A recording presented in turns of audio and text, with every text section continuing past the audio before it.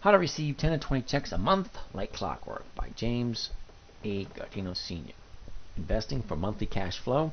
I have two websites that complement this book. You might want to check them out moneymakeslifeeasier.com and the 10minutetrader.com.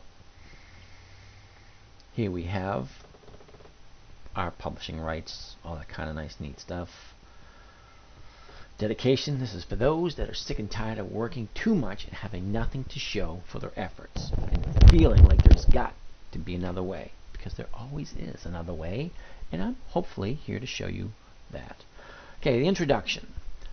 Everybody has their hands on money at some point in their life. You have to decide what to do with money. You have to decide how you're going to earn it. All that kind of nice, neat stuff. Now, whoever's in charge of your money, if they're not making you at least 25% a year, I'm going to show you how you can do that. Make at least 25% or better. Now I'm going to go slow so that you can read some of this also. You can just mute me and then you can just uh, read it yourself. Now, nobody has more interest in your money than you do.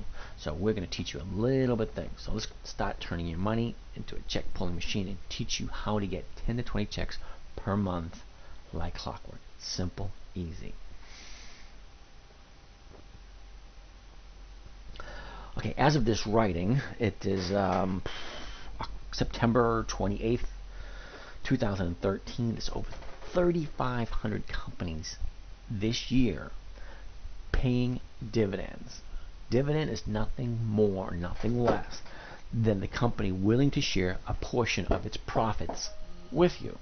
So, if the company's profitable, they give you some of the profits.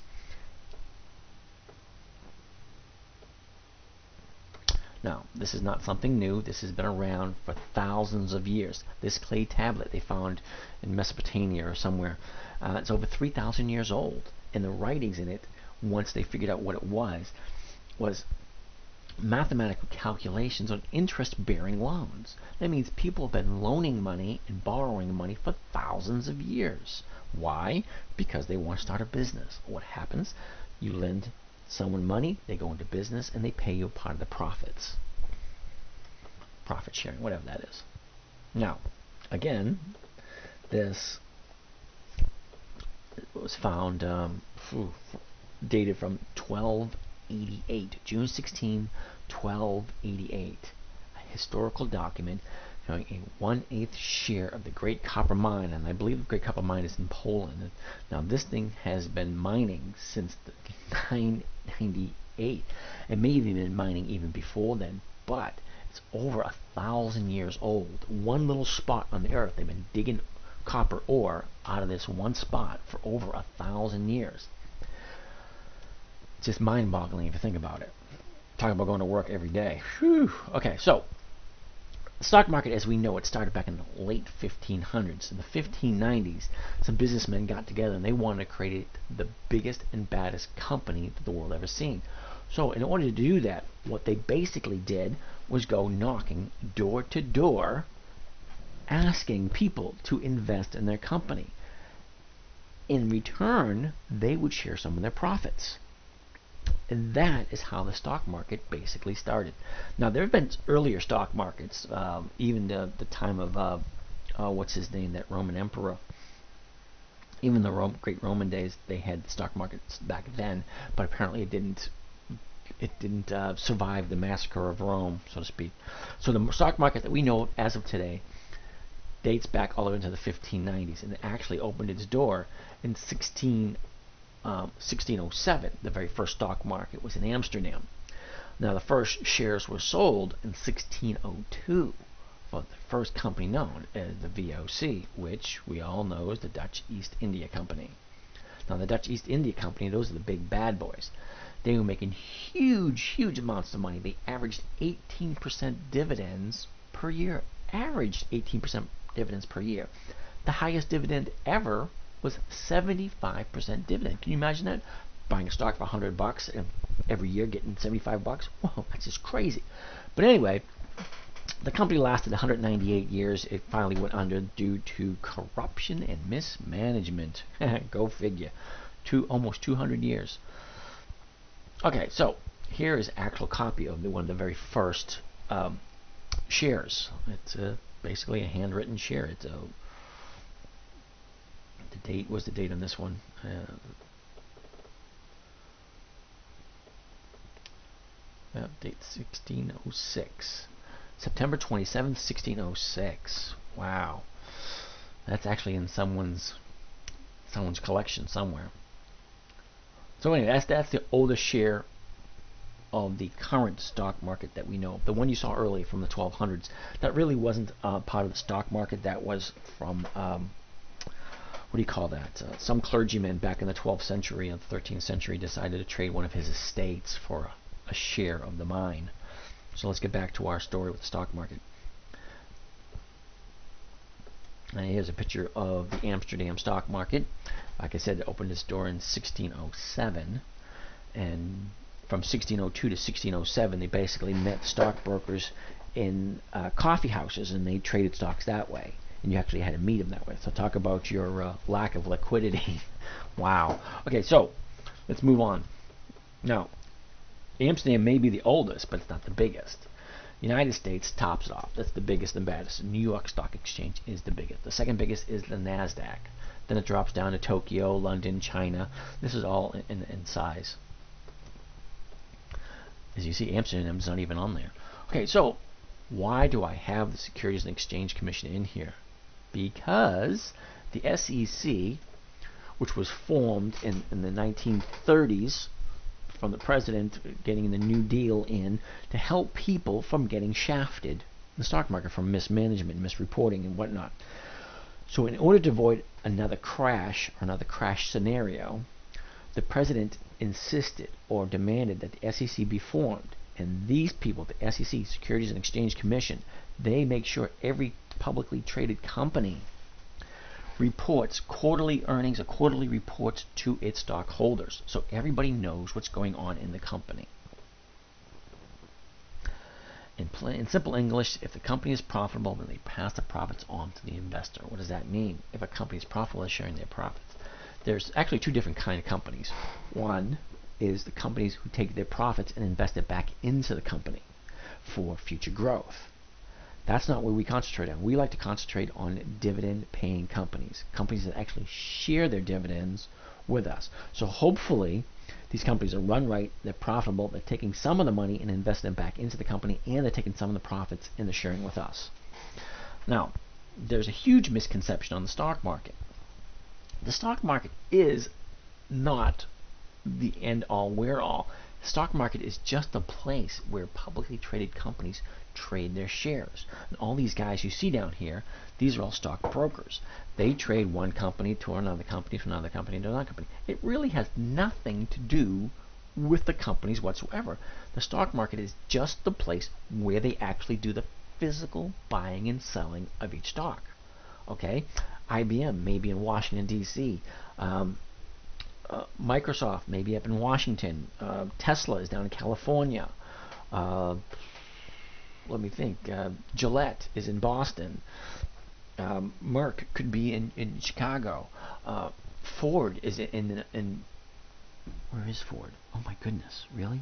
Michigan. Okay, Chevy's in Michigan. Anyway, companies are scattered throughout the whole United States. The stock market has nothing to do with the companies whatsoever.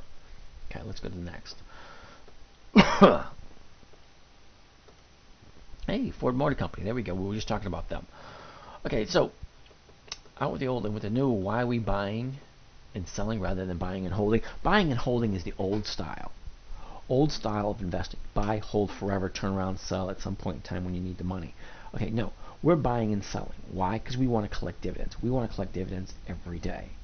Okay? We buy the stock before the EX date and we sell just after the date of record. That's usually one or two days. You just want your name on the date of record so that you are recorded in their ledger as a person receiving the dividend check. Plain and simple, you want to receive the check after your name is in the in the ledger for receiving the check, you sell the stock. Preferably for the same amount you paid for it or more. We're going to get a little bit more into that a little bit later on. Okay, imagine if you will every day there's over 20 trading days. Um, uh, May 2012, look at this, there's uh, 5, 10, 15, 22 days. Uh, June, 5, 10, 15, 21 days. Uh, July, 5, 10, 15, 21 days. So every month has over 21 days. And with 3,500 companies, or 3,400 companies trading, I mean, uh, paying dividends every day, and there's only 20 to 22 trading days per month. Can you imagine how many shares are actually being um, being traded, or, or, being how many yeah how many shares being traded? But then again, how many companies are writing dividend checks? Okay, so let's look at this for a second. Monday, May 7th, 2012, 27 companies were paying out dividends, and the yields were 0.3 and 8.2. Okay, uh, May 28th, 64 companies ranging with yields between 0.4 and 13 percent. May 29th, 96 companies paying dividends. May 10th, 46 companies paying dividends. And look at this one. This is a doozy. I've never seen a day like like like this day. Friday, May 11th, there's 332 companies all on May 11th writing checks or going EX dividend. Okay, so that is close to 600 companies just in one week, all writing dividends, all profitable. Now, um, this, here we go, the EX dividend date, 8-27-2002. These are the companies paying the, the dividend amount and what their annual yield is. Now, the annual yield is going to be different than what you're investing in. The annual yield is based on buying the stock and holding it for the whole year. That's not what we're all about.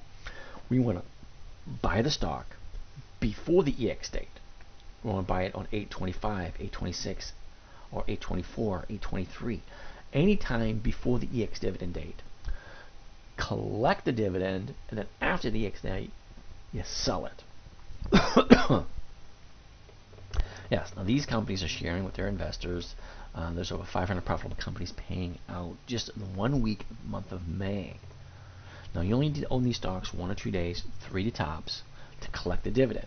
Now if you want to hold it and save it from and keep from losing any money and selling it for more than what you paid for it, sometimes you might have to hold it longer. Okay, but but this the main idea is to get more than 10 to 20 checks per month from your dividend investing. Now that I know I do know this sounds oversimplified, but it really is pretty simple.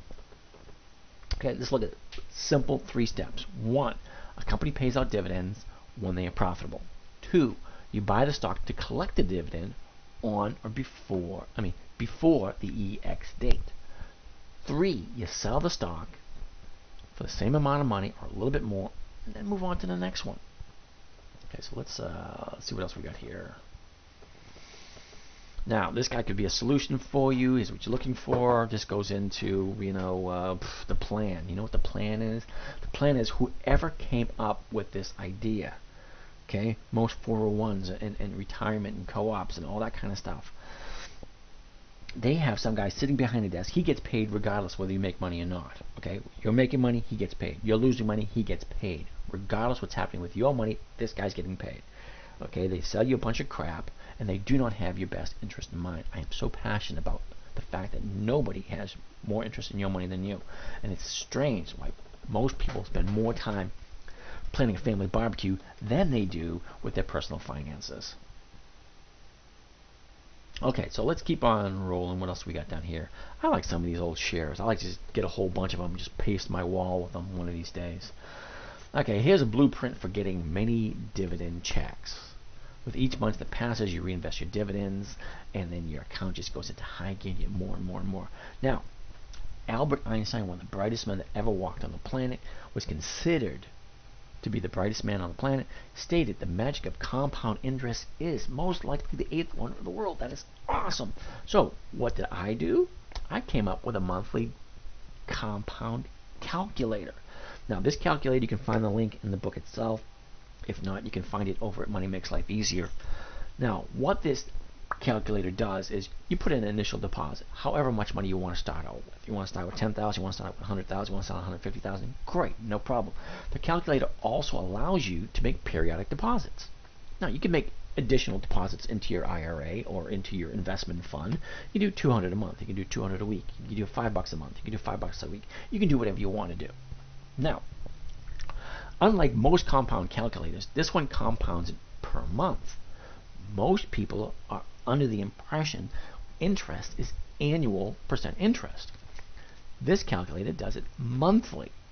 Okay, I have it set here at 3% monthly. So the computer will actually calculate how much money you're going to make on the monthly, and it compounds it over and over and over again.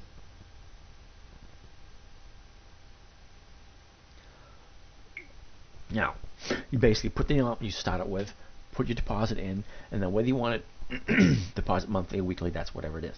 Now, the interest rate, 3%. 3% is not bad for a monthly return. Okay, if you want to be more conservative, do 2% or do 1.5%. Okay, 1.5% is easy to do. 2% is easy to do.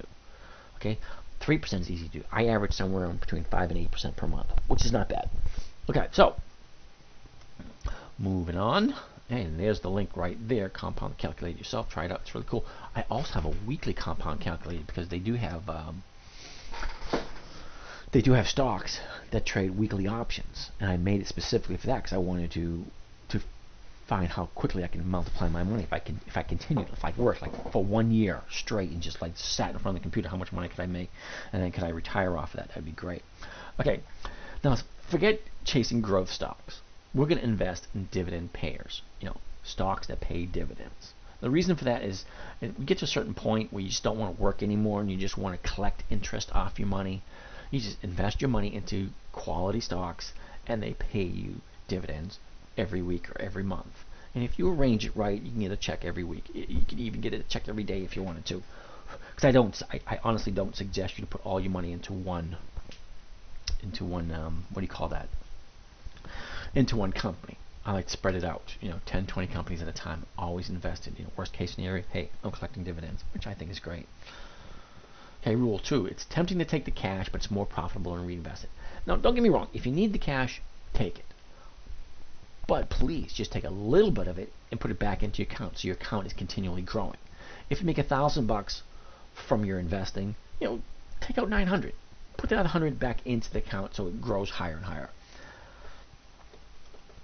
Okay, now here's another calculator. This is the same calculator, and it tells you how much you're making off of your investment, which is cool. Okay, rule number three. Now here's a bunch of companies right here that are that are trading. This is a uh, 529, 2012. As you can see, there's one, two, three, four, five, six, seven, eight pages. 10 companies on each page, 8 pages, 80 companies paying dividends or going EX dividend date on the on the 29th. Now, if you got a choice, take the higher yield. Now, I used to always say take the higher yield, but I'm going to change that a little bit because the the higher yield you have to be careful that if it's a really extremely high yield you might get get caught with your pants down so to speak that means um, the company may may offer a huge yield just to get investors to buy the stock and you want to be leery you want to go check historical records is this company historically providing high yields I mean are they paying 10% a year every single year are they paying 12% a year every single year Okay, if they're averaging 5% a year and then all of a sudden they're paying out 12, there's got to be a good reason for that. There's got to be a question for that. So you always question it and make sure historical performance is there. Because remember, worst case scenario, if the stock goes down to a point where you don't want to sell it and take the loss, at least you're getting whatever the yield is, which is not bad. Which is better than the uh, uh, bank CD rates at the moment, and definitely better than the um, savings Alright, so let's go. Strong history, cash brand. Performance for small cap beats big cap all the time. Why is this? Because a $10 stock can go up a heck of a lot easier than a $100 stock. You know? Because big, huge corporations grow slower than small ones. Because big corporations, you get a huge board of directors and a huge amount of employees. So taking it to the next level is a little bit harder because you got a lot of baggage you're taking with you. Okay, so like I said before, there's 3,500, over 3,500 companies in North America that are profitable and getting ready to write dividend checks. Now, this is a little interesting right here. 954 of these companies have dividends over 5%. And there's 158 that dividends over 10%. And only 28 yielding 15% or higher. Now the high yields are great. Now 28 companies. If you can get that yield from 28 companies for different times of the year, oh, what? Then that you can get extremely higher rate. Because if you get one company, you get it's 15%, then another company gets it's 15%. That's just two companies. You add it together, that's 30%.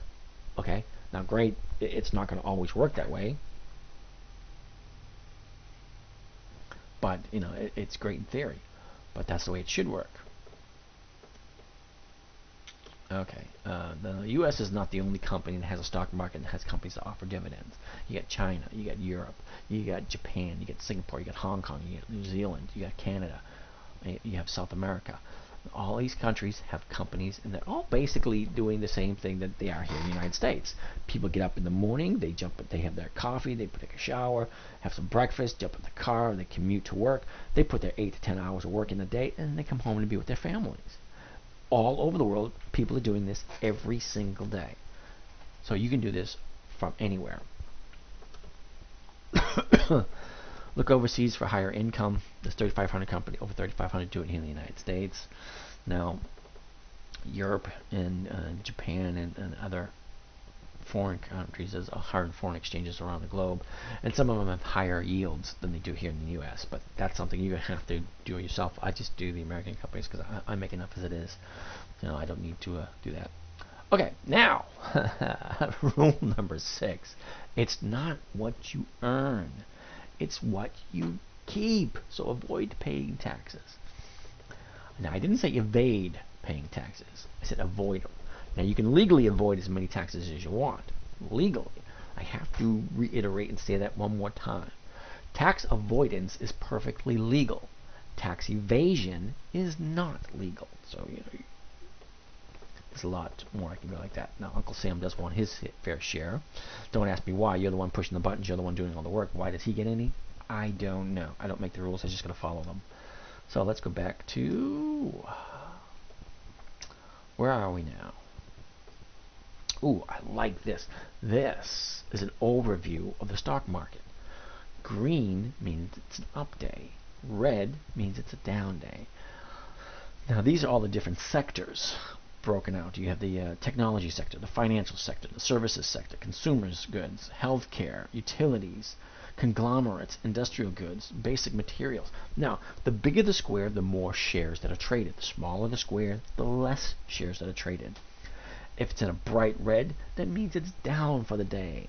If it's in a dark red, I mean it's not down hugely, but it is still down. Now the ones with the, like a black or dark gray, kind of like neutral, not very much movement.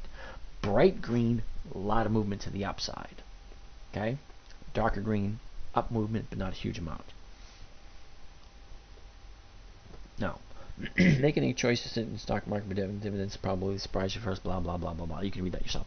But anyway, what it says is, is choosing to invest this way just to collect dividends. 10 to 20 checks per month is easy. You buy the stock before the dividend, before the EX dividend date. You capture the dividend. You sell it for the same amount or one. I like to go one penny more. If I buy IBM for hundred dollars, I'm going to sell it for one hundred dollars and one penny. And depending on its historical performance, this is whether or not I'm going to be able to do it. I collect the dividend, and then I put in a sell order, and I sell it for the same amount of money I paid for it, plus a little bit of extra to handle my uh, transaction costs, my commissions, and then um, or a little bit of profit. Because sometimes you know you buy a stock, collect the dividend, and then the next day it it, it, it opens up higher or you get the higher number.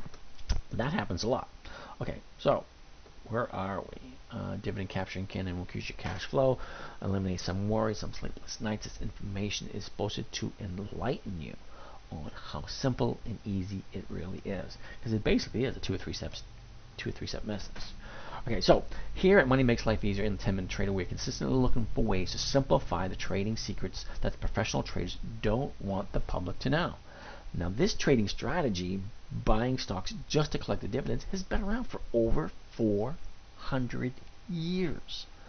Okay, there's companies that have been paying dividends for many, many, many years. There's one company I know of right off the top of my head, Wells Fargo.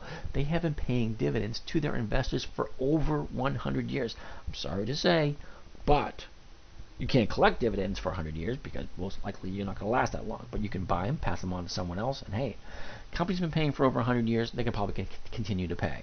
It's just plain and simple. They did it before. They're most likely going to do it again. It's not guaranteed, but it is highly probable. All right. Anyway, as I said before, there is no one who has more interest in your money than you. Okay, so take control of your money, take control of what you want to do, and, and like I say, simple, easy strategy. Now here's some more books I've written over the past. Uh, you might want to check some of those out on on the websites that I've given you before. But hey, this is James from the 10 Minute Trader, and Money Makes Life Easier. You have a great day, and I am out of here. Happy trading.